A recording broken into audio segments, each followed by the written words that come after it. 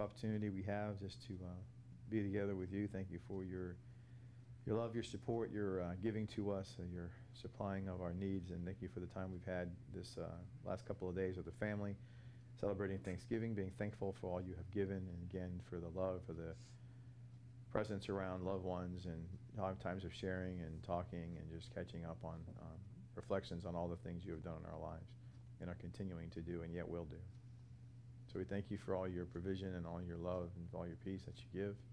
Thank you for allowing us to, um, to be still and know that you are God and knowing that those moments that we see your hand and your presence in our lives. Calm my heart, soul, spirit, and us all to just take the moments in this time of the year to take a deep breath and see you in your hand and how you have continued to work in our lives.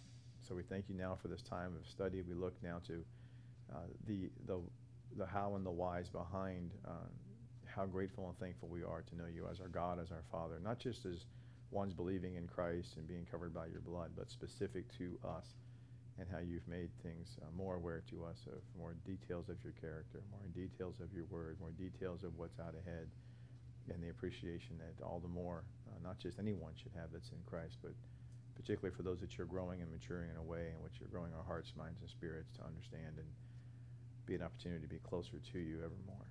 So we thank you for being our loving Father, our, our good shepherd, our pastor, our teacher, our counselor, everything in this time. We ask that you be with us, and we ask all this in Jesus, Yeshua's name we pray. Amen.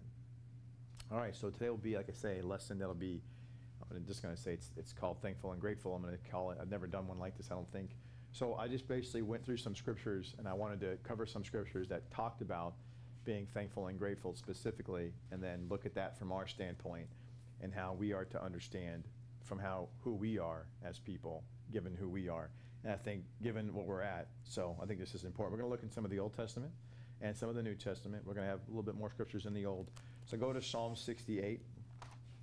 Go to Psalm 68. we'll start there, and I'll read these in order. So there's a couple of Psalms here that I picked out. And what I'm looking for is, you know, why should we be thankful? What do we, what, why should we be grateful? And we already know why. I mean, we can say, okay, God loves us because, right, but I want the scriptures specific to those things that you can always hang your hat on and, and remind ourselves all the more as we see these days around us uh, in our country and how we celebrate. So Psalm 68, verse 19. And he says, Blessed be Adonai who daily loadeth us with benefits, even the God our salvation. And he says, Selah. And that's the ending of the thought, with the last thought he has before Selah means ponder this, basically. The word bless is the word Baruch. And the word Baruch is the word that means to, it's hard to, uh, to say it in words that's more than one word, but the word blessing, it's almost like the imagery of a king uh, who knights somebody. So you, there's a little bit of a lunging downward with the sword over the shoulders of the knight. So when you the word baruch or blessing, it means to, to kneel down and endow one with blessing. So God did that, did he not? He reached down from heaven and became man. He kind of knelt down. I've, I've used that analogy many times in my earlier understanding of God's love and sovereignty and how it's so big a big deal. Say we have free will. Talking about earlier today, and I, I think it's we say what's why is it that a big deal? Because it's a big deal because now you're because now you're putting the relationship on even playing field. And that's an insult to what God did. He knelt down and blessed us with great and many blessings. For, if you don't see that image of that Baruch, that blessing means to kneel down and endow one with blessing. It speaks to his higher lofty plane of a sovereign God who knelt down out of compassion and empathy to give to us. And so people who don't see that and think it's a free will thing, they're looking at it more of an even exchange. There's no even exchange they'll say that they see God's bigger than them. Well, then how come the choice is not bigger than you? It, it doesn't work that way. You can't make God bigger than you, but then make the choice to be with Him the same as an exchange that you have every right to say yes or no. No, you do not. God is the one who kneels down and endows you with a blessing. Whether He does or He doesn't, that's up to Him. So when He says in chapter, again, 68 verse 19, blessed be Blessed be that Lord. So that word blessing is, again, kneeling down. He's blessed because is what he is. This is who he is. He's blessed. He's Baruch. He's the one who gives all blessing. When, when you ever see that phrasing, bless the Lord, O my soul, all that's in me, or blessed be Adonai, it, it, it means that, again, every blessing we have, That's been, in- it's been endowed to us by a Father, a God who's knelt down and given it to us. That's why all blessing belongs to Him. In other words, all blessing, which in the New Testament, the word blessing is the word for happiness. So all of your joy or happiness, your, your, your, your ways in which you would smile, and think about things in life, is all because of a foundation of the God loves you grant. you know, it's just an amazing uh, concept to think about that word blessed, blessed or the blessing. Again, and he- and he says, who daily loads us with benefits. And so this, There's there's a thing that says, happy is the man whose God is the Lord. I mean, there are some places for happy in the Bible, and that's one oh yeah, Ha- yes. Todd said, does God love those who are destined for the valley of Jehoshaphat? Well, here's the thing. So um, there's a, and that's a trick question actually, um, because there's multiple loves of God, right? So God loves, in a general sense, all of His creation from the sense that He loves everything that He's made. So the answer is yes and no. So it, it's yes and no. It's a great, it's a great question, man. It's a great question, because the artist, regardless of what he makes, is still going to love all of his creation that he made. That's a fact. He loves, he says everything he made, uh, and it was good. He made everything. He made everything. And so it's all good. However, does that mean he loved the anointed cherub that covereth till he be till he had iniquity found in him and then he was kicked out of heaven, right? So so there's the initial love. But if, if people say, well, that God that changed, God hates Satan now. Well, then God changes that. I thought, I thought God never changed. Ooh. So you got to, right? So there's a creation that God makes that he loves, but then there's the approval love or the collaborative love that he gives only to those. There's two pieces of that collaboration love. One, he imputes the empowerment from which to collaborate, which redefines the second tier of love. So there's a love God gives to everything he creates, everything he makes, everything he creates and makes, he has a general love for because he's the artist. He made it all everything plants, birds, humans in the same way. Now, understand what I'm saying now. When I say the word love, I mean in the same way he loves a plant, a tree, a bird, an animal of any kind. Anything he makes that's alive, he loves it all because he's the creator. Even things that are not alive, the mountains, right? They're not alive, they're rock. He, he loves them all. He loves everything that he makes the oceans, the sky, everything, everything he makes, he loves because he's the creator. He's not going to hate his own creation. That's, that's insanity. However, there's a second tier of love that he gives from an empowerment standpoint. Now, of that general creation that he loves, then he empowers some of that creation to be covered by a basically a promissory note that he's going to elect some to have a relationship with him and some to not. I, I don't know how he does that. He just does that. He says it in Ephesians, according to his own goodwill and pleasure. Who am I to say what that is? Who are you to say what that is? For us to try to figure that out is like saying, oh, that's why he made that tree that height, that color, that. You don't know that, so stop lying. I don't know why that seed comes out and produces corn. I don't know how that works, okay? I don't know how how uh, that particular that little, particular little tadpole goes into a frog. I don't I don't know that. I don't know how that all works. I don't know how he, how he does that, but he does. He does. So why he why why didn't it start off differently? Why do birds have eggs? We're not from eggs. Well, sperm and an egg, but we're from a, we're, we're a fetus in a womb. But why is it that there's this egg that hatches for some species? Other species are born right out of the womb, like we are out of the womb, right? You know, what is that about? I, I don't know. I don't know. You know, so I don't know why those things are, but God does those things, right? So if someone tried to figure that out, it, it, it's to trying to figure out, well, that's what that's why God loves this one. I, I don't know that. I don't know. It just is, and God says it because He says He's the architect and the designer, and Father knows best. I'm going to trust it. I'm going to believe it. And why would I not? There's nothing around me that that would say that he got something wrong. People make fun of him and say, "Oh, God made the platypus to say that's what that was God's joke on human because that's like a, you know the beaver and the otter kind of mixed up together." I, I get it. It looks kind of weird. so, but the whole thing is that that when you look at going back to what you were saying, so God has a love for His creation. God has another love that He gives to all those that He's going to impute a special measure of of grace and faith by giving them an empowerment. An empowerment to what? To see and know that He is God. To take them out of ignorance of just being the creation and knowing who the creator is behind their creation.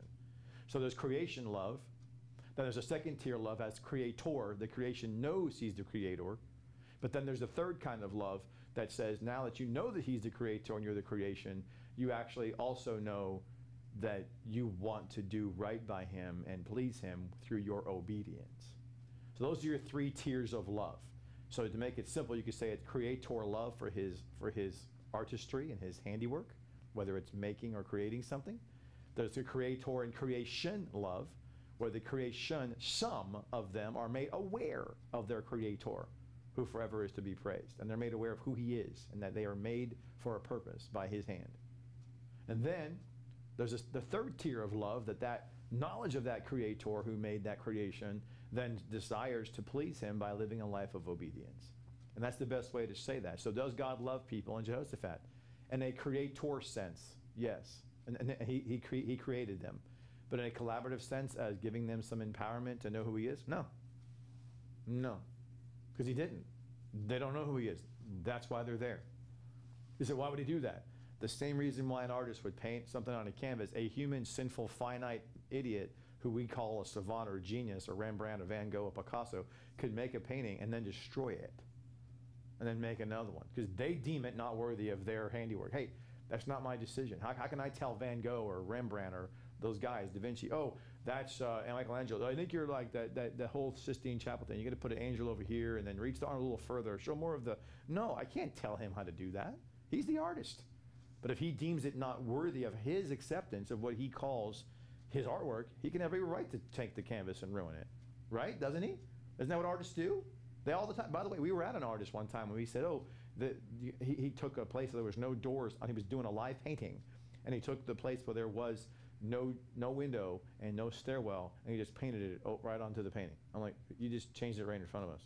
Like, how did you do that without like erasing stuff? He just kind of like it was weird. So artists can do what they want to do. They can add, they can take away, they can they can eradicate everything.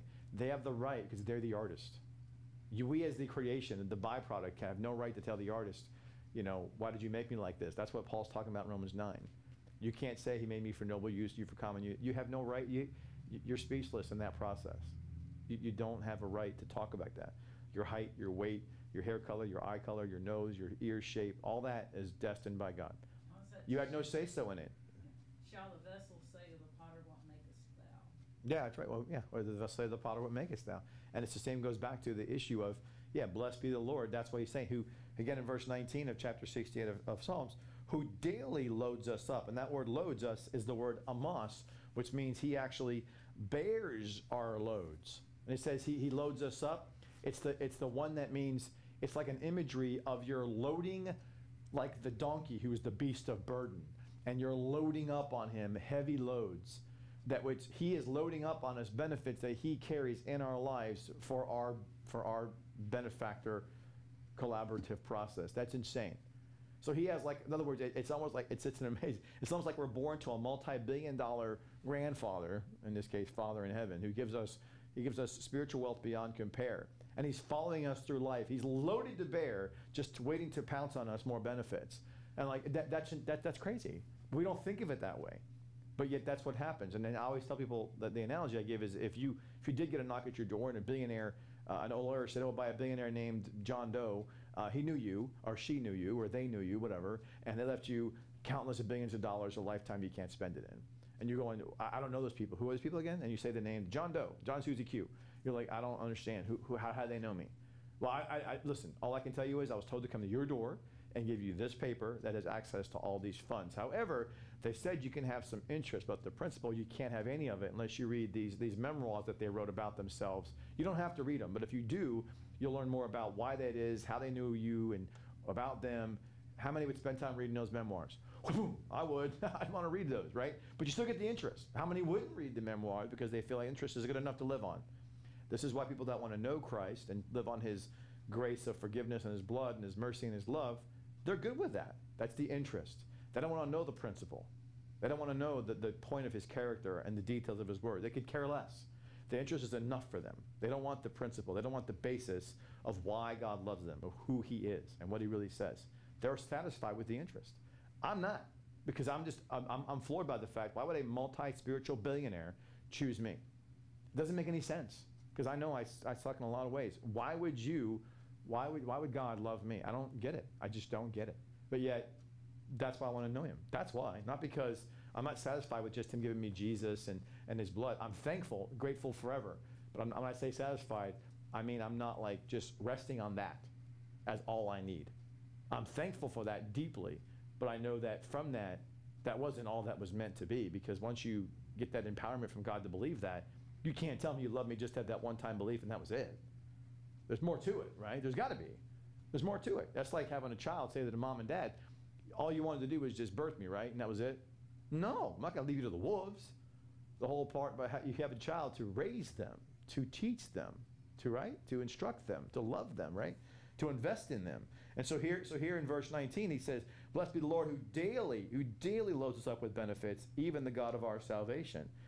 In other words, he loads up, he's talking about this salvation that we have is one. In other words, he backed up the truck of his blessings when we first realized our salvation. In this case, of covenant, to know he was the one God there is out of the ignorance that we didn't have. So we had a creator who created, who loved us.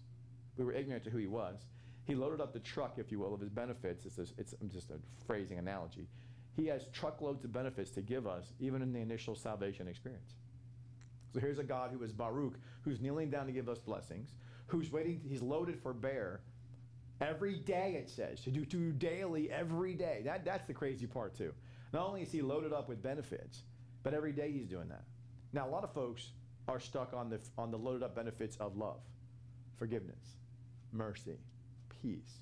And that's wonderful stuff, and it is. But how much more would you appreciate that if you knew who was giving it to you? The more you understand the person who's giving you those lo- that love and mercy and peace and compassion, wouldn't that transcend how you experience that? If you don't believe that's true, think about it. Can a person who's a friend of yours give you love and mercy, love and mercy and peace and compassion, and it mean the same if it was your mom and dad? Don't lie to me. It's not the same. The person who renders those same things changes how you experience it. So how much? Because the reason why is the relationship defines how you experience those things.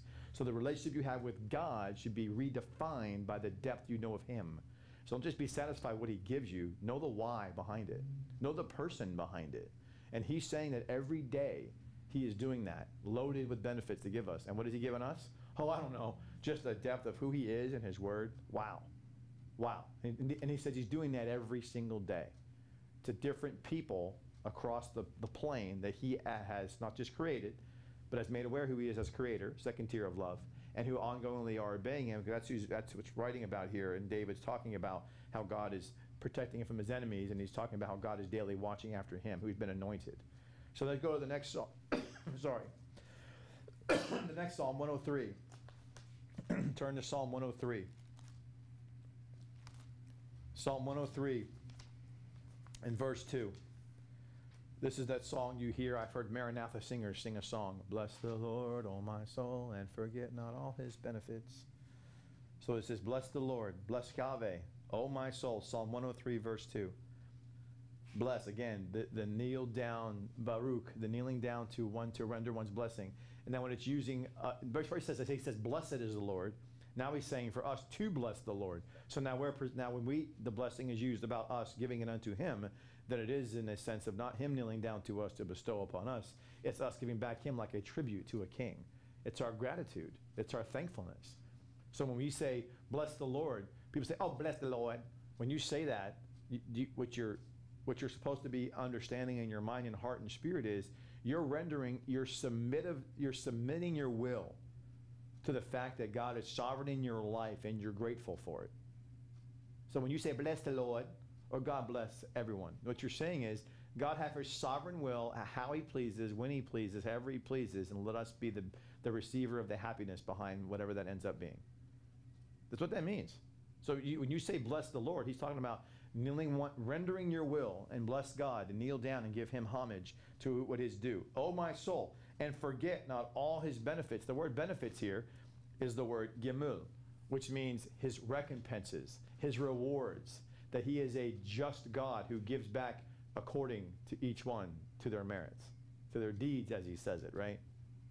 So you do have this relevance here about how we are to be thankful and grateful about how God is blessing us and forgetting not what he's given us. Turn to Psalm 103 again, verse 10. Look at verse 10. He hath not dealt with us after our sins. Thank God for that, right? Nor rewarded us according to our iniquities. Well, that's pretty, uh, Pretty, pr- pretty poignant. So he doesn't deal with it. That's pretty crazy right there. So let's read that again. He has not dealt with us after our sins, nor rewarded us according to our transgressions, or our iniquities, excuse me. After our sins or according to our iniquities. So whether it's our sins of missing the mark or whether it's our perversions of God's word, he doesn't retribute us for those things. So that's a problem that I have in my own heart because there's often times every day, throughout a day, when I'll do something wrong later on that day or that week or that whatever, is I may say, oh, but I'm paying a price now. That may be a consequence, but that's not God like trying to punch me down. That's not what's happening. But in your mind, you think that. I mean, I do anyways. Even though it's a consequence that I have that I have opened up the reality to come into my life because God tells you and me Remember the Mount Gerizim and Ebal principle. If we do good, he'll bless us. You do bad, there's cursings that'll come upon us. So he's not directly doing that. He's just saying, look, you've opened up a consequential reality that's going to be happening now. So it's just the rules and laws of how you obey or disobey what's going to happen to you. But it's not him directly trying to pick on you. That's not what's happening. It's not him directly saying, let's come to task on this, son, daughter. You did this wrong. I'm going to bring you to bear on this. That's not what's happening. And he tells you in verse 10 God has not dealt with us after our sins, nor rewarded us according to our iniquities. How fantastic is that?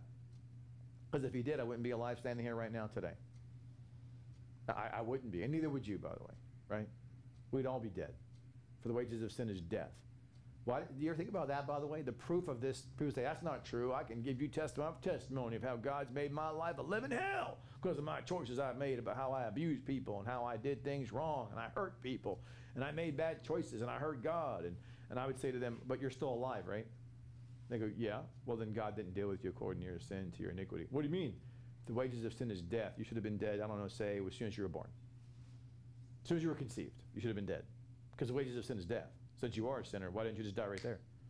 Why does he allow us at all to live till 50, 60, 70? What, why? What's the purpose? He, he's telling you right here. Because he doesn't hold it over your head every day. Remember 1 Corinthians 13, we read at weddings? Love is patient, love is kind, love holds no record of wrong.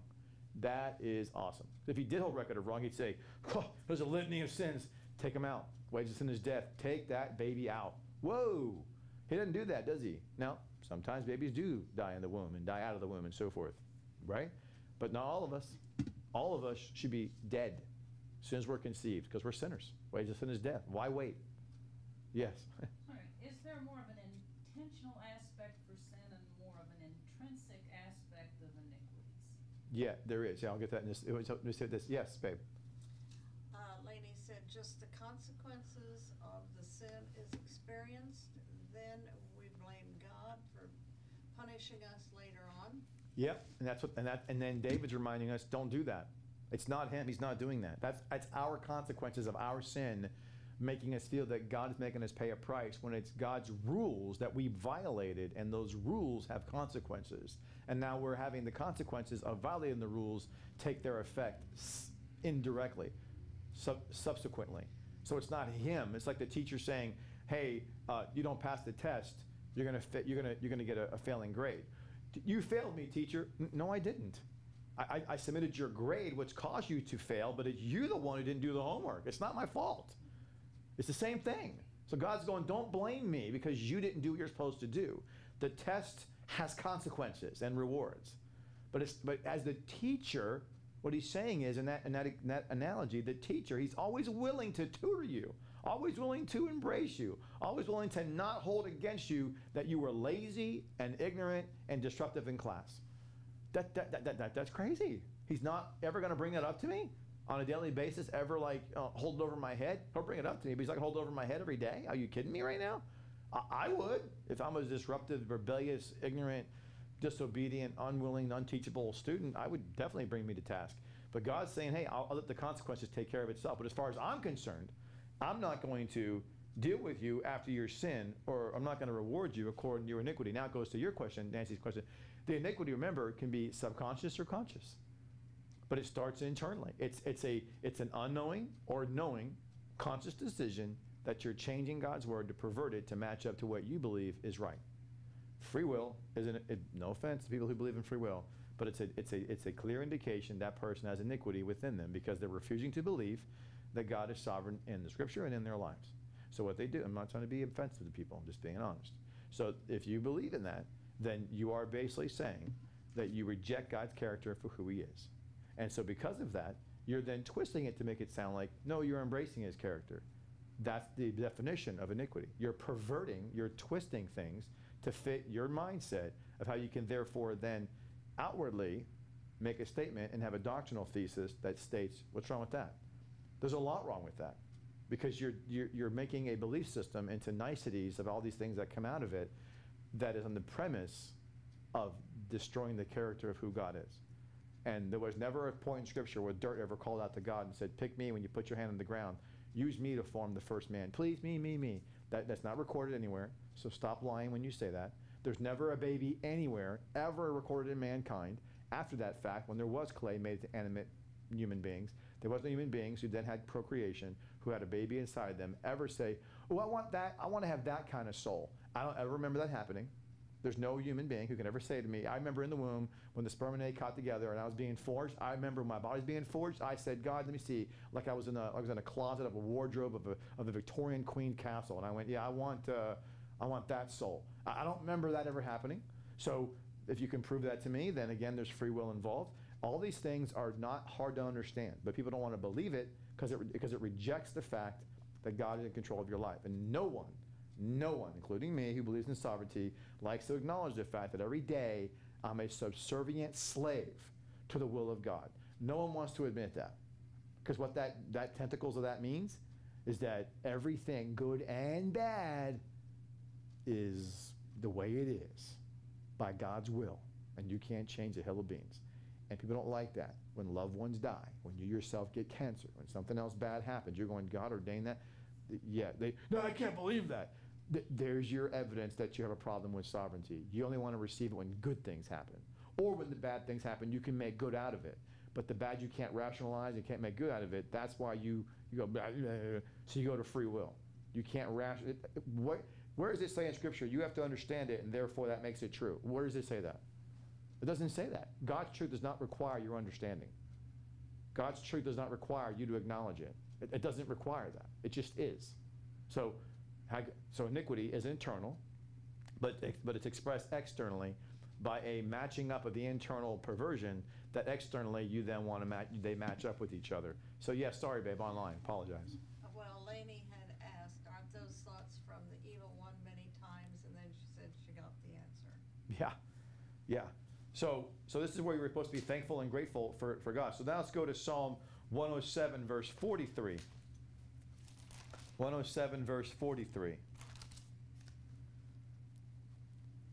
This is a great verse. This, that's now, now I talk about some general verses about being grateful and thankful, and I'm bringing in some depth of scriptures to what the words mean and what that means to us in the sovereign God. Now he's getting in specific to people he has called to walk in a mature way. Psalm 107, verse 43. Whoever, whoso is wise. Now that's specific to people who have partake, who have partaken in an, an obligation and a privilege that He has endowed your spirit, your mind, to be opened up to His truth. You did not will it. You did not one day wake up and deserve it. You didn't earn it. Let's make that clear. None of us ever on the face of humanity have ever earned the right to say to God, I am wise. Don't even go there.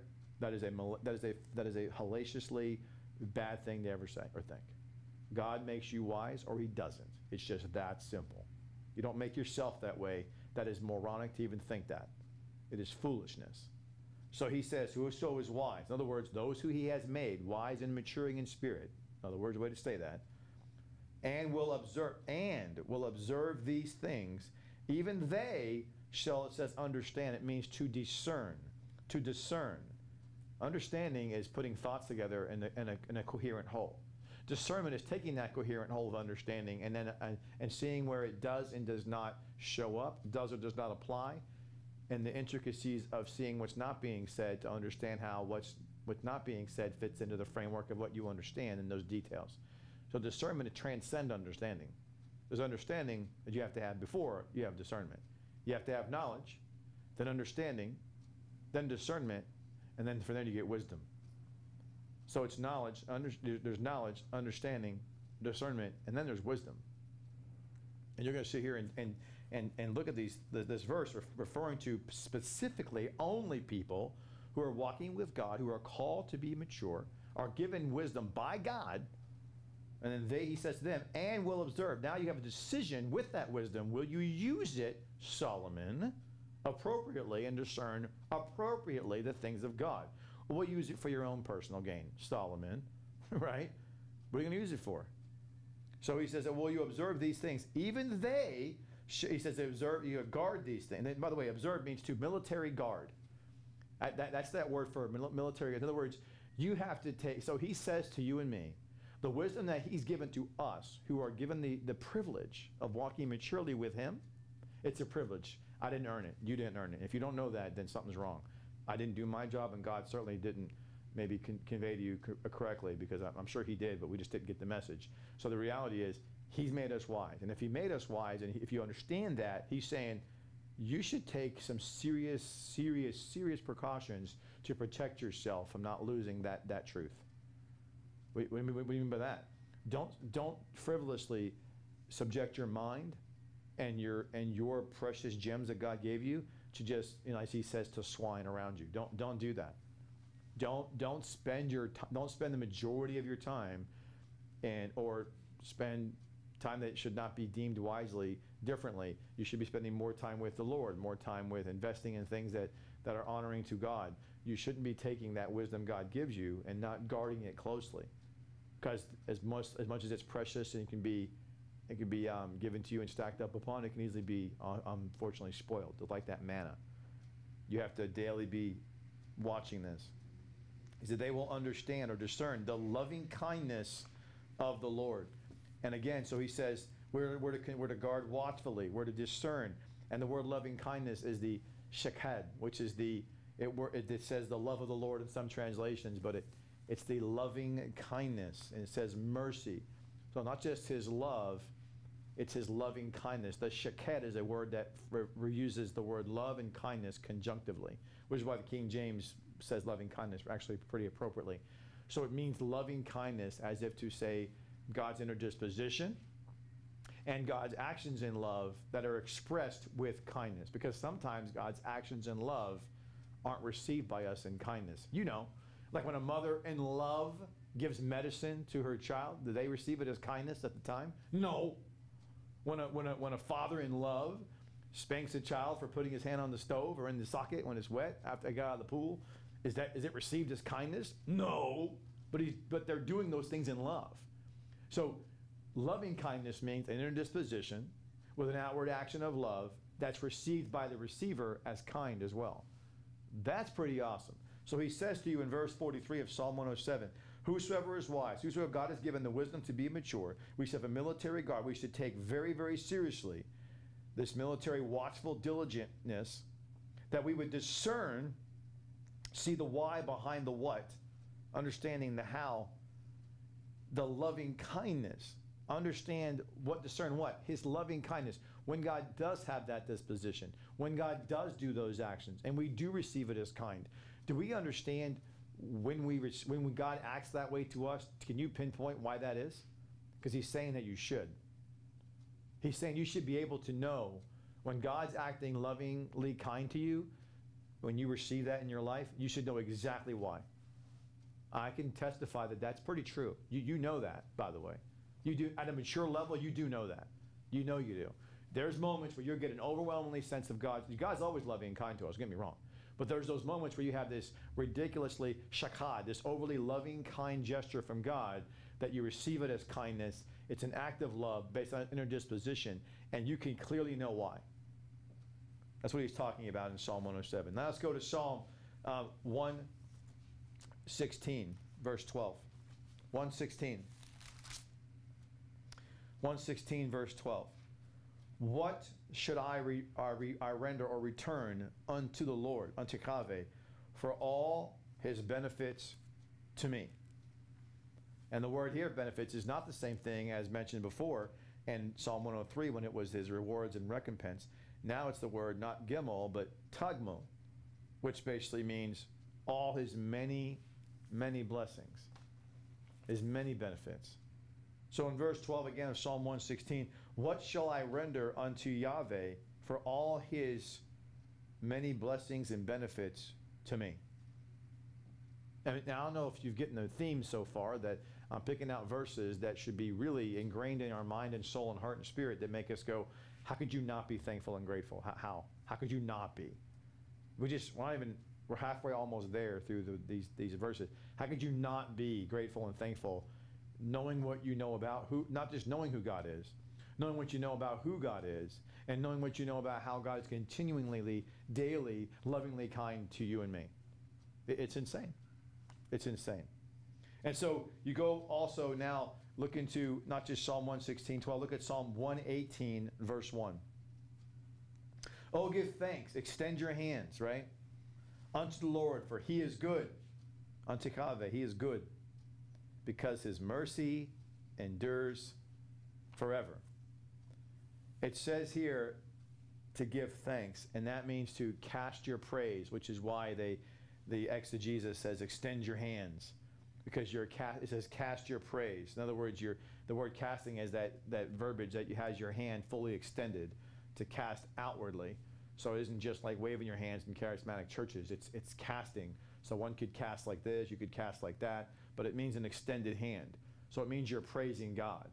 So I mean, you- you're extending your hand. It gives you like you're reaching out to, to say thanks. So an extend people we use that phrasing, uh, extend a hand to somebody in need, right? So when you're extending your when you're doing praise to God, it's a raise of saying you're extending your hand back to God. It brings back to that earlier analogy I gave of the artist Michelangelo's. What's it called? Uh, is it called David? What's it called? That God and Man, whatever the one where the man's touching out for the finger. Was was it called God and Man or something like that? Yeah, Adam, it was Adam, so it's called Adam, yeah. Sistine Chapel. But when he showed, it, it kind of reminds me of this, this Psalm 118, verse 1. Oh, give thanks to God. So that, that painting, whether, whether Angelo meant it or not, is a depiction of what it means to give praise to God. You extend your hand to touch back to a God that gave you everything. Who's everything to you, right? Then he says, For God is good. That word good is towb, T O W B, which means God is beautiful. Not just good, but beautiful, glowingly wonderful. Wow. So then you go over now as they go to one more Old Testament, uh, go to Lamentations chapter 3. Lamentations chapter 3 and verse 22.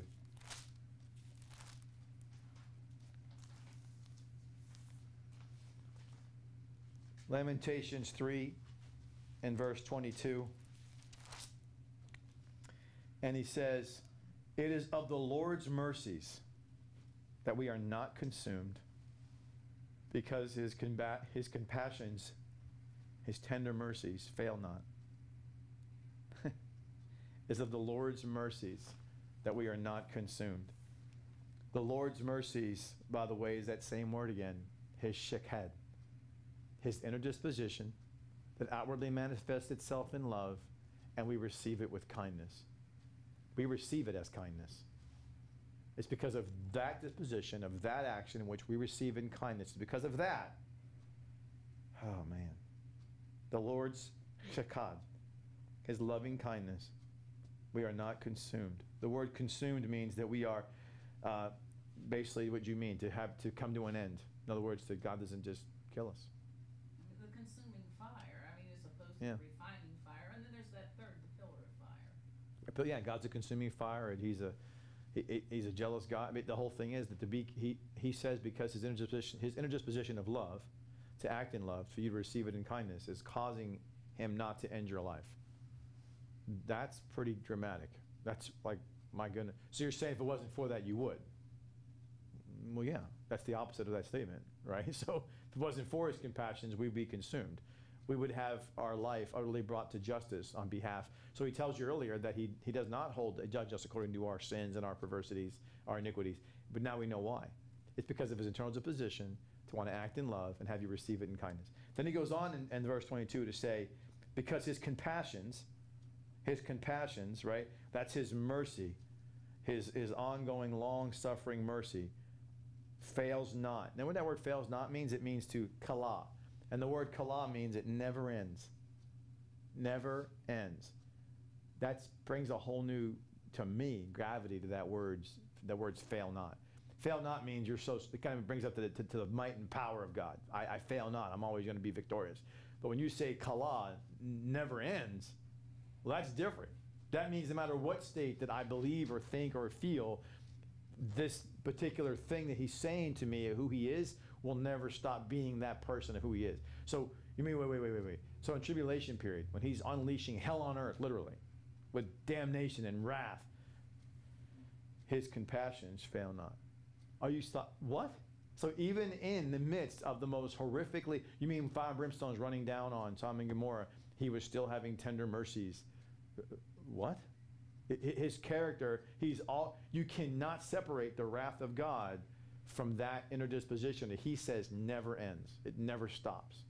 So even when you have, if I'm before the bema seat of God, of Christ, and say I'm going to Gehenna, I'm going to be a rebellious soul, and you can put me in Gehenna, he still internally, even though he's judging me with a harsh sentence, he still has tender mercies because they never end. That's that, that I, I don't know what that looks like. I don't know what that looks like. How can you receive bad news from a loving, tender disposition of someone who's rendering you bad news? And I remember, I remember there's a, a book that Chuck Swindoll once wrote about leadership, and he called it Giving Tough News in a Soft Way. He called it a velvet brick. And I'm like, what?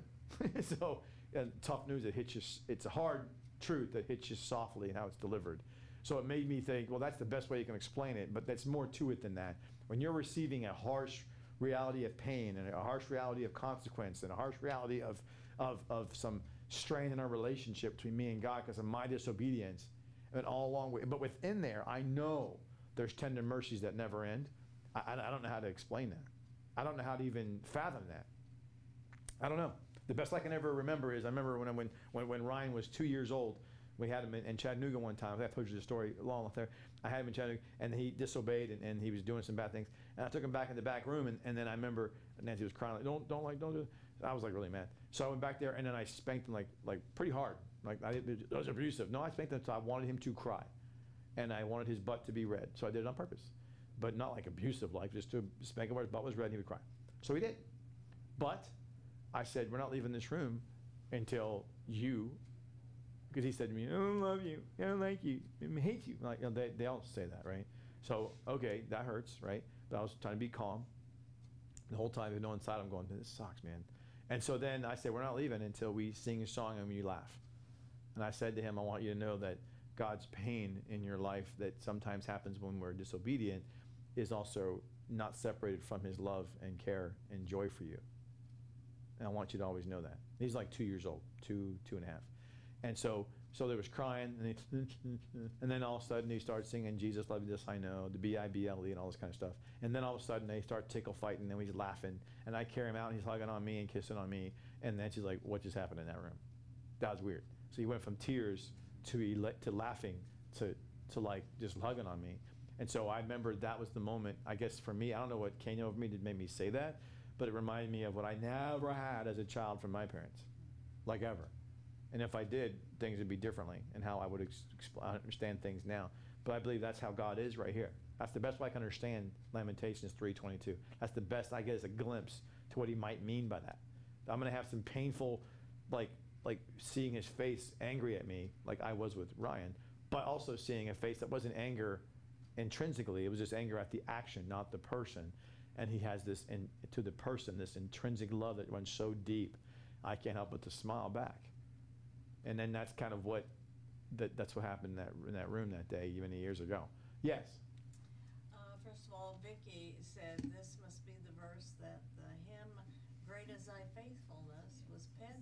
Oh, yeah. Todd said, I thought the same thing, Vicky. Mm-hmm. Oh, it, oh, yeah. Oh, yeah. Great is thy faithfulness. Absolutely. Great is thy faithfulness. Absolutely. And then you, now you know when he says his compassions fail not, he's talking about his internal disposition of his loving mercies, his, his tender kindness, his loving tender kindness, mercies, that that disposition never ends. There's never a time where he goes, okay, I'm going to set this aside now. I'm going to be wrathful. Ugh. That's not what happens. No. No. So, and by the way, who's writing Lamentations? Jeremiah. Well, who's inspiring him? Well, of course, it's God. But what did God ordain for Jeremiah to experience a life of discord, a life of ostracization, a life of being alone, a life of rejection, a life of hatred and malice, indifference.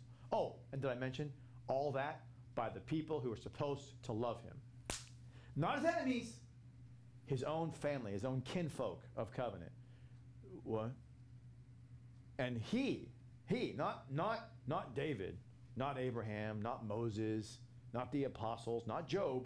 He was given those words to write. Come on, man. This guy experienced constant rejection and never somebody hearing what God would say through him as to be true. And he writes that? You not he understood what it meant because he lived it. He lived it. the Having eyes see not, having ears hear not. He had a whole bunch of people. Yeah. with Eyes and ears. Oh yeah, see not, hear not, and yet, and, and he just, I mean, I can't imagine when he wrote this. He, prob- I, I'm sure he was weeping when he wrote this, going, how, how, how this is so true. How this is so true. And probably, I mean, thinking about the times in the well, broken legs, they threw him in there. Yes. And Vicky said, morning by morning, new mercies I see. Yep. And, and it's just, and it, it's amazing. Again, so we're talking about being grateful and thankful. And this one verse here, as we end our Old Testament journey through these verses, it reminds us that, again, going back to my earlier statement, the more you know about the character of God and the person of God and the Word of God, the deeper the statements of truth become. And if you don't believe that, when you get to heaven, have a talk with Jeremiah about what this verse meant. I guarantee you, Steve Green's singing of the song or, or anybody else's rendering of the hymn book song has nothing compared to what Jeremiah understood when he wrote the verse. I guarantee you for a fact. Can guarantee you. I can guarantee you for a fact that if you understood from sermons and books and, and seminars when somebody says, the Lord gives, the Lord takes away, blessed is his name, have a conversation with Job when you get to heaven. And once you ask him and his wife how that really, what that really means, they'll understand, they'll give you a transcendent understanding that'll knock you and blow you away. Like, what? And they will just give you a, a, a depth of experience because with wisdom, it's bit stacked up upon knowledge, understanding, discernment.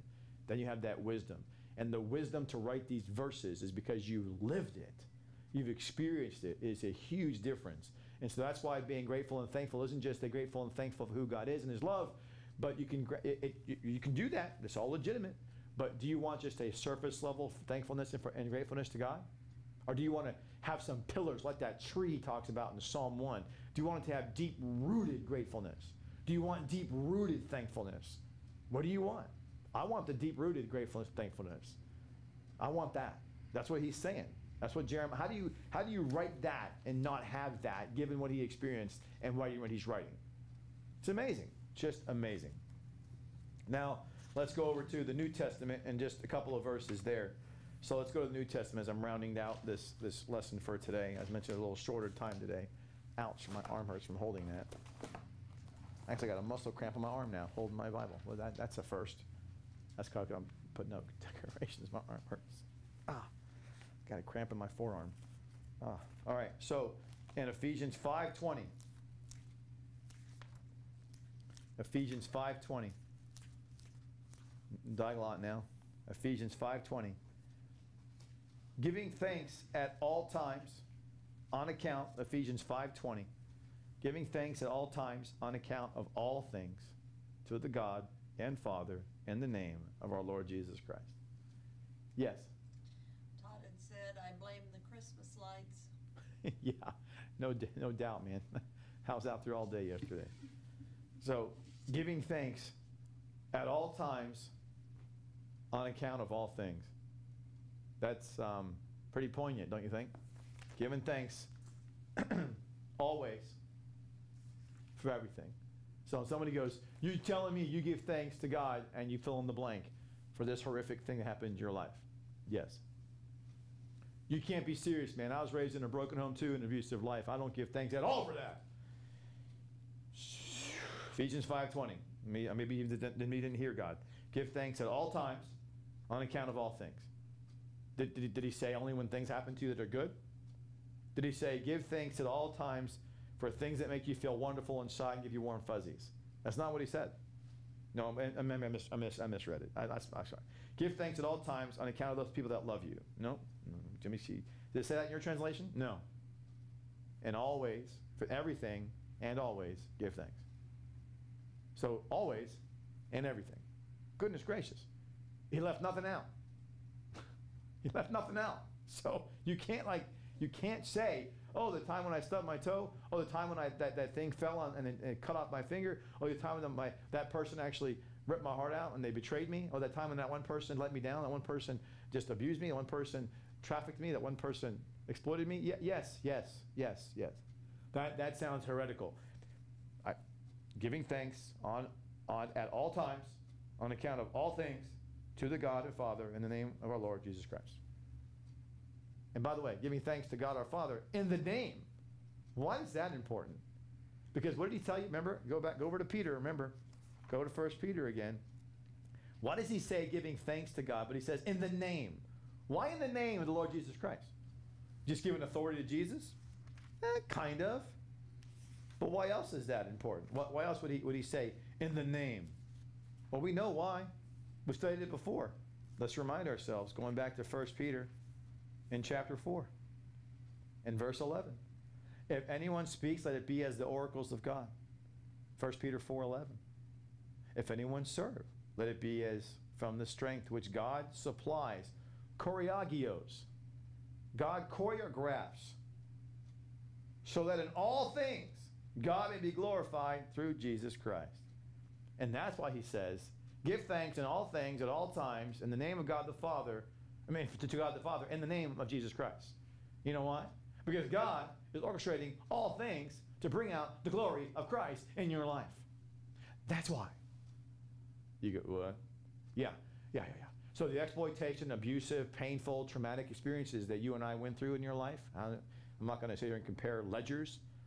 We all know what's true and what's not true. I'm not, whatever, right? So whatever that is in your life is what it is.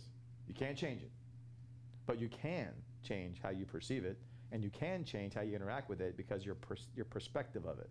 The perspective is do you reject that God choreographed that in your life, or do you receive it? If you receive that in your life, that God choreographed that, so why would God do that? that that's sacrilege! Shh. No, no. He did it so that through those things, through those things, Jesus Christ is glorified through your life.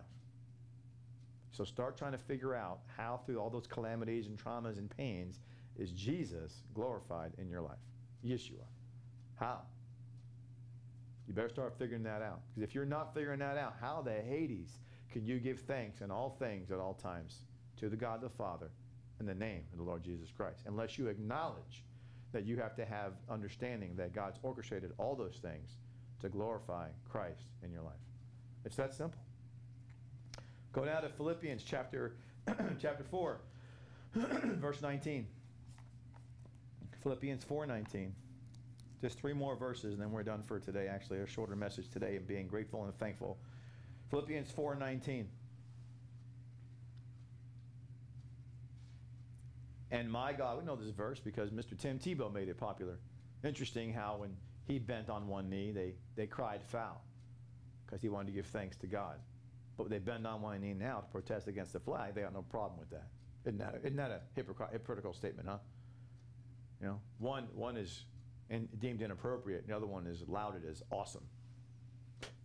Pathetic. Just pathetic. Philippians 4:19 and my God will fully supply will fully supply which means fill you completely. Great translation.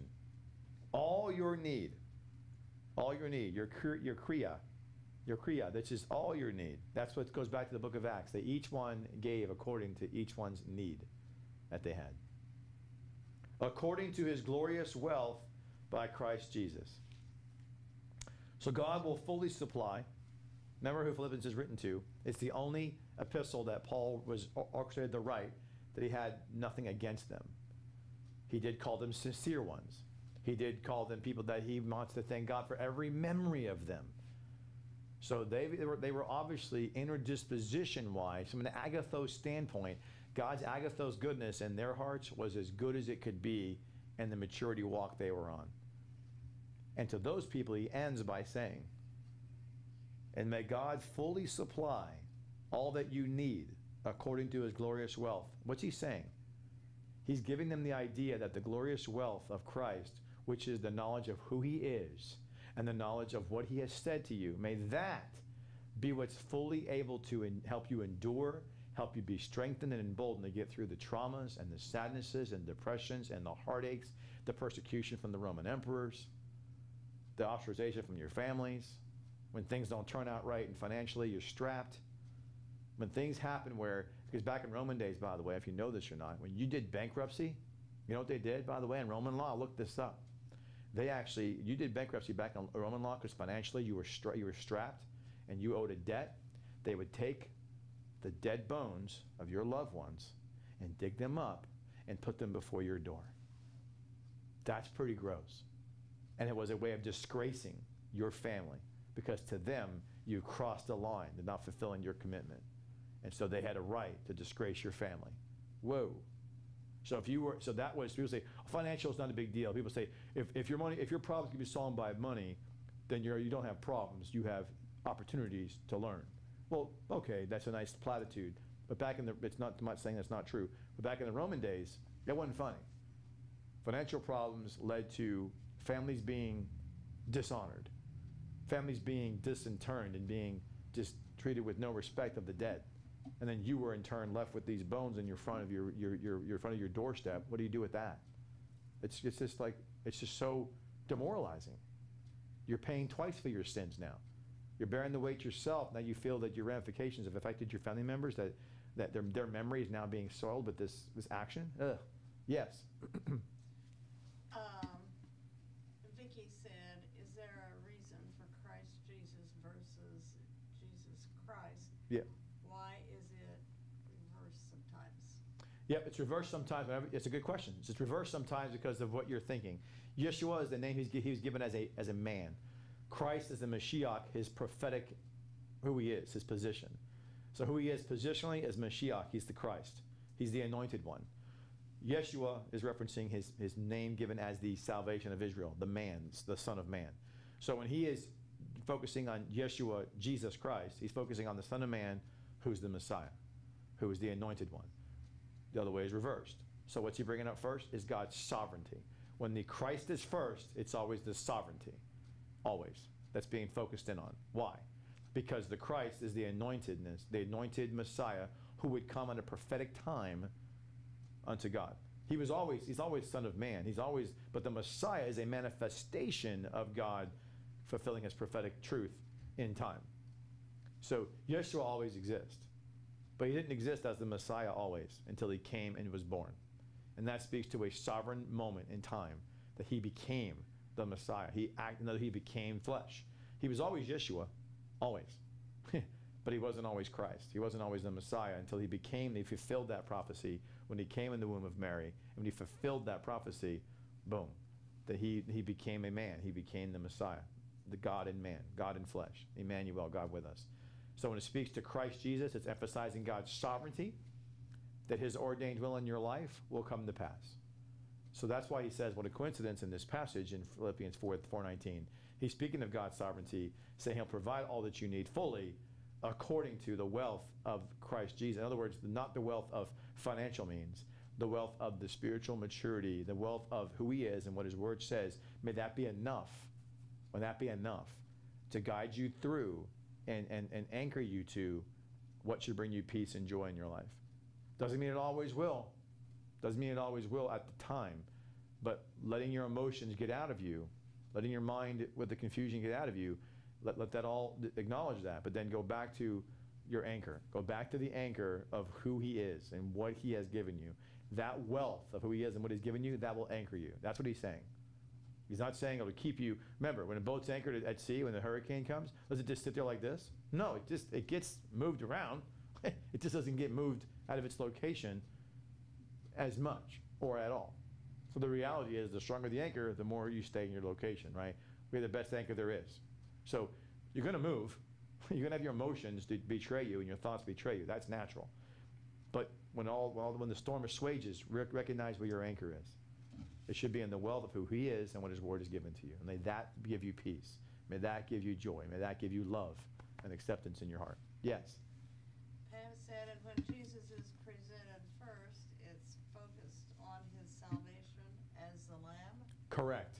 That is correct. It's focused on his salvation. It's focused on him being the Son of Man who came as a sacrifice for us. That's correct. It's focused on his humility, his sacrifice, his salvation. Absolutely. So Christ is the sovereignty part of God, and then the Yeshua, Jesus, is the is the salvation provisional sacrifice part of God. That he's, talk, he's talking about what God did in, in God the Son. So if you go to James, by the way, James chapter 1, James chapter 1, we know this verse.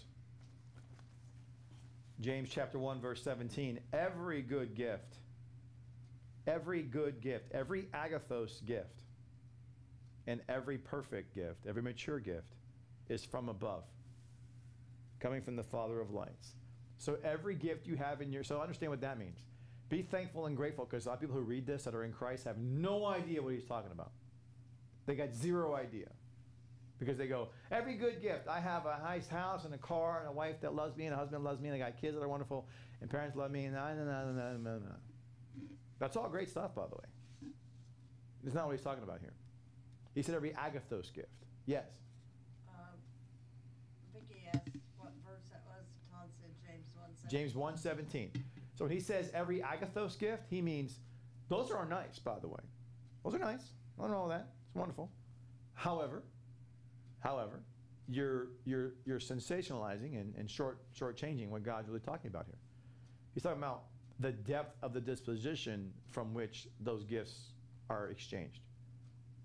Because if I could do a secret Santa, if I do a gift exchange, I do I can, I can do gift exchange, secret Santa all day long. But what if you were blind and Jesus gave you the gift of sight? Does that gift outweigh the gift of paying your debt off, buying you a new house, giving you a new dress, giving you new shoes, a new suit? Uh, yeah, it kind of does. Because I can't, I can't measure that. it's unbelievable, right? When he says agathos gift, he means the inner disposition. The inner disposition, we say it this way.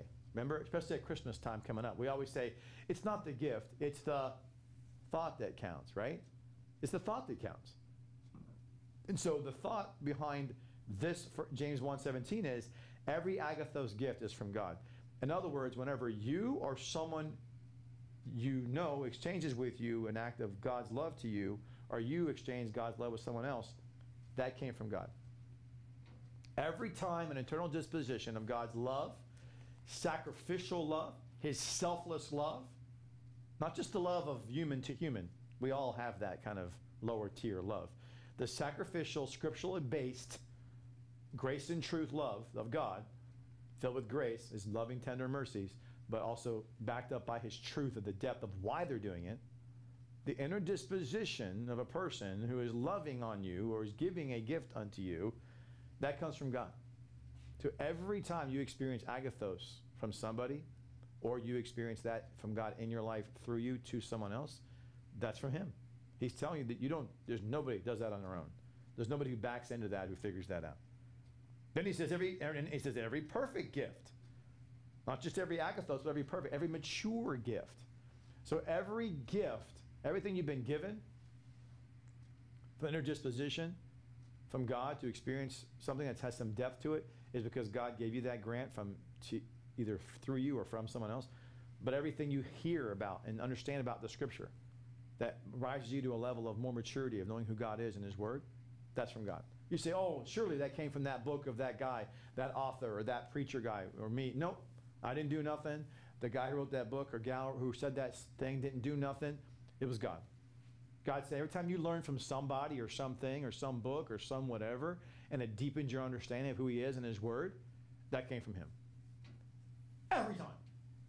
He's saying every time. There's nobody you can ever say, "Oh, I." But I say that sometimes myself, but I don't mean to say it that way. I say, "Well, I learned a lot. We learned a lot going to Chattanooga and learning from Calvary Bible Church," and it makes it sound like you know they were the ones. Not really. God used them. God did that. God used different people. It's always God, God, God. He's saying he's the one behind making you wise. He's the one behind making you mature. He's the one behind opening your eyes and opening your heart and opening your, your spirit and growing you in, in his will. He, he's behind all that. Don't lose sight of that. He's telling you that comes from him, who's the father. He didn't say father of love, he says father of lights. Isn't that interesting, by the way? As if to remind you, you are a darkened soul. You're a darkened soul, and don't you forget it. Genesis 1 the Spirit hovered over the face of the deep. And then God said, What? Let there be light. And that we love darkness and apprehended not the light. So he's ma- making sure he's again putting a sovereignty statement. When he says Father of lights, he's speaking of his sovereignty, which is why I love Christmas lights at Christmas. That's why I love Hanukkah. It speaks to his sovereignty. That with him being the lights, emphasizing we are a darkened, dark, dark, dark soul people who love dark, dark, darkness. We don't know light if it hit us in the face. He made us aware what light was. That's how we know what light is, because he told us. Otherwise, I wouldn't know. I still love darkness. Scripture says so. Yes, sorry. Vicky said, I have a note, uh, that the perfect gift is only for called out ones. That's right. Valid? Yep, that's right. The perfect gift is, is mature. For it's, tele, it's teleos. It's for called out ones only. You're talking about people that are, again are of the sperma seed only. That's why I'm saying most people in Christ would not understand this verse. James 1:17 is dealing with being thankful and grateful, but specifically for how and who is making you wise, for how and who is maturing you in your faith. It's God. And he's doing it through agathos disposition created within you and used by others who he is in their lives exp- expressing that to you. Every time you feel that or you give that, it's because of him. Every time you you actually experience that or give that, it's him. Every time you grow in spirit or in maturity in your mind, that's because of him. It's all because of him. And he's reminding you, and who does he call himself? The father of, again, of, of love? No. The father of truth? No. Father of, all those are true. But he said father of lights. To again emphasize that you are a sinful, darkened soul. You have no chance of willing yourself to know this stuff. He made it aware to us. Yes. Todd said, what is the definition of good gift in ten words or less? agathos gift. An agathos gift would be defined as a gift given from an inner disposition that mirrors the character of God selflessly, sacrificially, with pure motive. Which means you can't do it. You, you only God can do that to you or through you. That's it. So agathos gift is the inner disposition, sacrificially, selflessly, with pure motive, that can only be given to you or through you by God. That's it. He said, okay. Remember, God said, Why do you call me good? There's none. Why do you call me agathos? There's no agathos but God. In other words, you're making it sound like I'm one of many good. Are you guys crazy? There's, there's nobody here who's agathos but me. No one has an inner disposition addition of their heart that's selfless, sacrificial, and pure motive. Only I have that. Who, who else? Who, who, who, who are you thinking of when you say good teacher? As if I'm one of many. Are you crazy right now? There's only one. it's like, wow. Okay. so, and lastly, go back to Philippians. We're going to end with this for today. Go back to Philippians chapter 4, verses 6 and 7. I wanted to end with this verse today because this goes through my mind.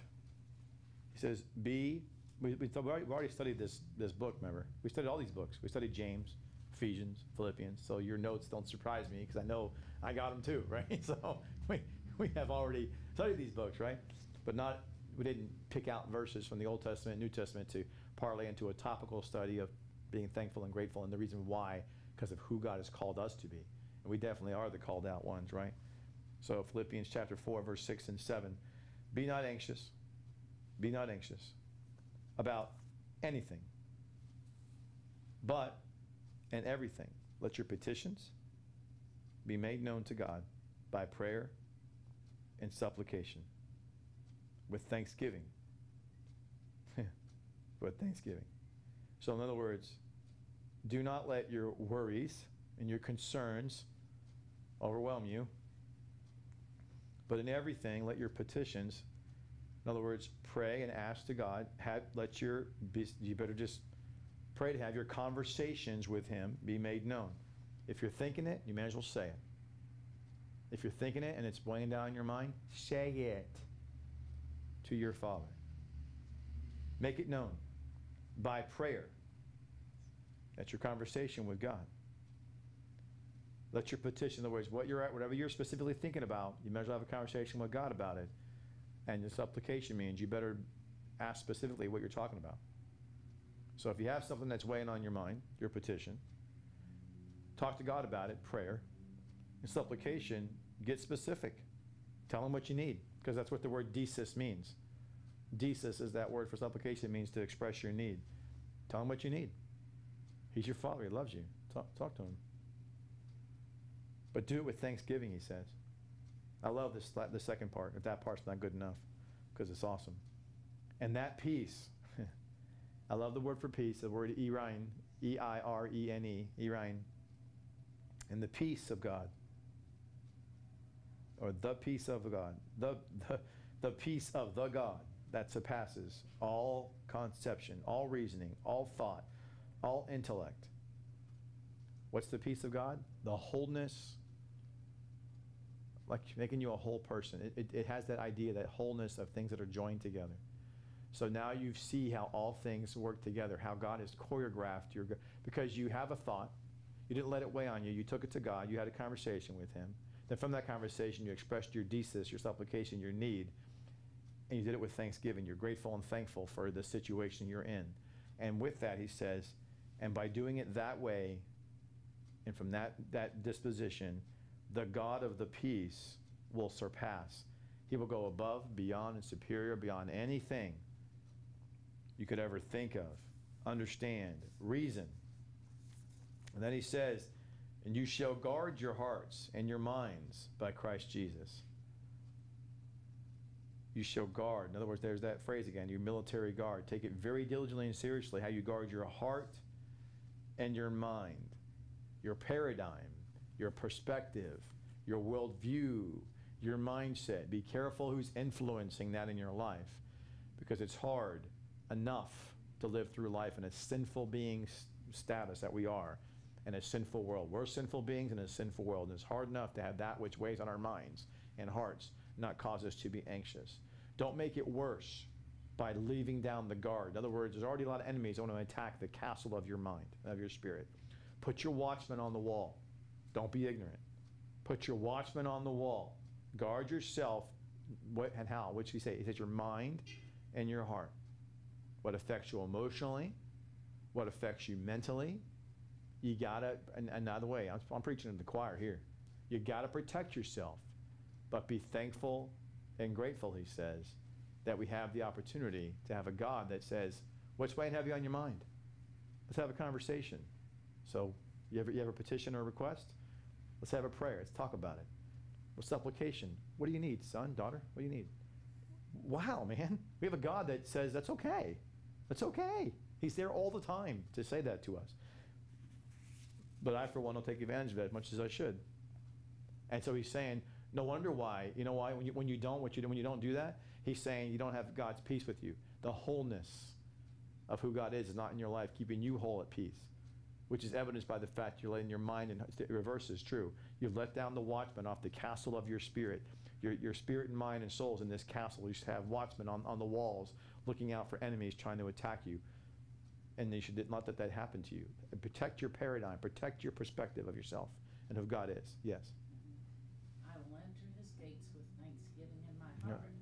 Well, that's verse seven. I mean, you know, Yeah. you, you won't have verse seven if you're not in his gates. It's true. Enter his gates with thanksgiving in your heart. Right. You have to. You can't enter. That's a good point. You can't enter his gates unless you're thankful. And enter his courts with praise. So it's be, so you could say you can't even enter unless you're thankful, and you can't inherit unless you've been a life worthy of praising. And when you pray, as we saw before, it means to extend one's hand. And to extend one's hands means you're s- submitting yourself to a sovereign God giving back thanks for everything he's orchestrated in your life. So that's pretty crazy what he's talking about in, in Philippians. He gives you like a an answer all these answers we got in Old Testament, and why we should be thankful, why should we, why should we, why should we be, be, be- be grateful? But then he gets into Philippians four, six, and seven, and he gives us the summation of it all, in my opinion, of just saying, hey, you know what? When things weigh heavy on you, let's have a, let's have, let's have a talk. As we, as we say that, that song, now let us have a little talk with Jesus, right? Tell him all about our sorrows. So you, you, we sing those songs, but do we actually do that? You know, and that's the whole thing is that, and it's not just singing the songs and doing it, it's how do we do that at a deeper level? They've already saw before in Psalm 107. He says, Those who are wise understand, we guard ourselves, right? He's telling us over in, in James that he gives us the maturity of a, as a gift to us. It's we of all people, we of all people, we of all, I can't say it enough, we of all people, if something weighs heavy on your mind, we got to go and have a conversation with our God. So the petition request, hey, everything's heavy in our mind, we go to talk with God as a prayer. And in that prayer, make your supplication known, your desis. Tell him what you need.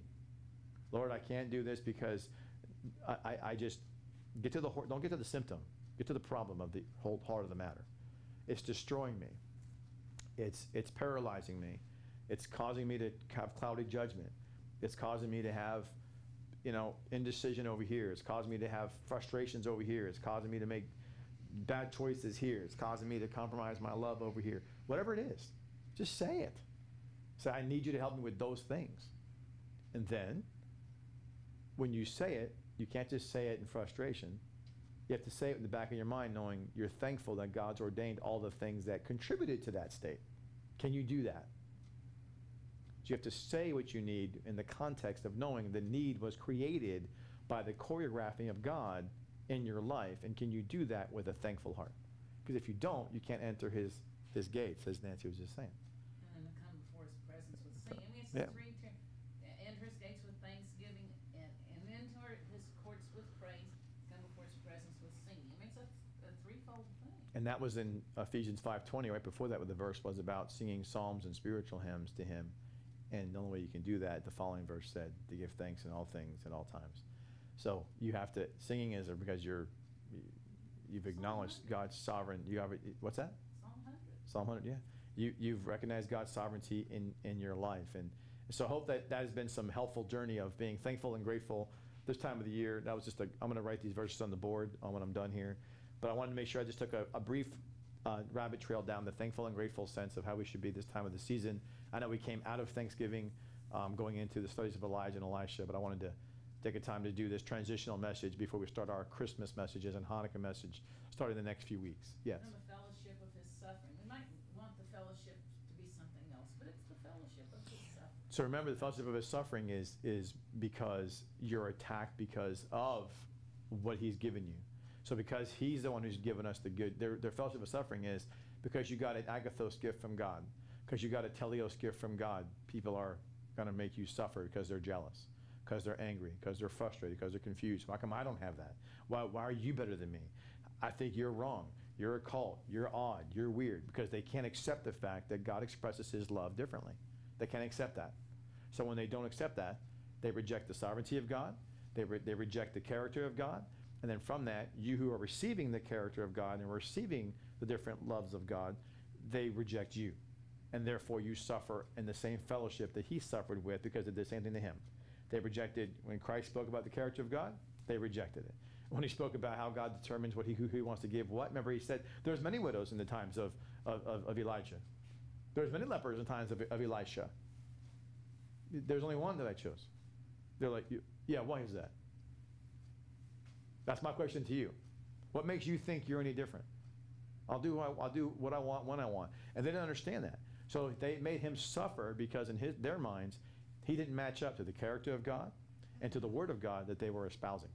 That's the fellowship of the sufferings. It's because people hate you and despise you because of what God has made himself aware to you and what he's shown you in his word. You know who he is and what he says at a level that they don't understand. And because of that, they cause you consternation and, and they constantly badger you. There's no such thing as, as this. That, that's, that's malarkey about this bride of Christ stuff. And that's, that's garbage about waves of a rapture. Hey, you keep saying what you want to say. I, I know what's true. But you can make me all day long suffer because of who God's made me. And that doesn't, I mean, it's not my fault. God made me this way. God made me to understand what I, understand about Him and, and His Word. I didn't one day wake up and go, well, how can I understand things that are so different that I'll be hated and, and ostracized? I didn't wake up and do that one day. No differently than I woke up one day and go, oh, you know what? This whole Jesus thing is kind of cool. I'll look into it. That's not what happened. I- If you say that to me, you're lying. There's nobody who can ever hear, I don't care who you are, if you hear my voice across the entire planet, if anybody ever says to me, there was one day they woke up and go, hmm, I'm going to go look into that whole Jesus thing. Th- There's no way that happened. Th- that's not, that's not, and if you're saying it did happen, I'll have a conversation with you and I will help you understand that that's not the initial time you first had that conversation with yourself. You probably already heard about Jesus and then you said that. But there's no way without hearing nothing at all, you one day woke up and said, hmm, I'm, look, I'm looking into this whole Jesus dude. That, that's not what happened. So that, that's not how it works. God works on you for a while and then you make, and then he makes a change in you. God always works on you. It's what he always does. He did, remember he says in Philippians, he is continuing to work in you. He's not, he's going to continue to work to fulfill his work in you. It's not going to stop. So anyway, so we're going to stop there and as a little short of time, like I mentioned, a little shorter lessons for today, and we'll end in prayer. So Father, thank you for this time we've had today. Thank you for opportunity to to learn, to grow, to understand, to be thankful and grateful uh, for you. Help us to have hearts that are just ingrained in knowing that you orchestrate all these things to help us to understand not just who you are and what you've said to us, but specifically for what you've given to us, helping us to be wise, helping us to guard and keep watch over our hearts and minds, our, our the, the castle of our soul and our spirit, to keep the, the watchful eye out for things that want to penetrate and, and change our paradigm, our understanding, our perspective of who you are, that you're everything to us, and that who you've been telling us about yourself more and more and through your word and how the word means so much to us because of what we learn. more about that draws us back learning more about you and this continues that ebb and flow of constant growing and understanding so that when we do meet you face to face one day there won't be a surprise and shock and awe over the fact that we had an idea at least of the glorious majesty and honor and praiseworthiness of who you are we're always going to be in awe of you father but help us to be closer in understanding, closer and under and just the relevance of knowing that who you are and what you've stated to us in your word will give us more prepared, give us a better opportunity to experience you in, in truth and love and, and peace. We thank you for this opportunity we have in this holiday season to be reminded of again your things of praise that you do in our lives, you orchestrate, that we are thankful and grateful for all things at all times. Keep us mindful now in the season coming up ahead we have when we celebrate the time of light and the time of darkness, the time you shed abroad your love in our darkened, sinful hearts. Pray for us, Father, now. We, we, all of us, we ask you to be our Father of watching over each and one of our hearts. Guide and direct us, keep us close, and throughout the week, bring us back together safely. In Jesus, Yeshua's name, amen. Know, it says we're to glory in our infirmities and the Yeah. Spirit is made perfect in weakness. And, and a lot of our persecutors don't have certain infirmities that we have. Yeah, that, yeah, very true. What? What? What you, they're clicking the wrong side. You're clicking. You kept clicking the wrong side. Oh,